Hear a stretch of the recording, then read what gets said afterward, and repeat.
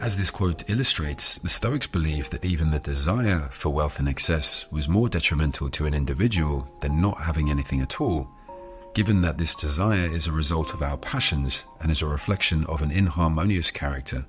as opposed to one of balance and moderation. To train ourselves to be moderate in our behaviors and emotions is vitally important in contemporary life. External temptations are embedded into the fabric of society, and it is now simple and straightforward to satisfy any desire with ease.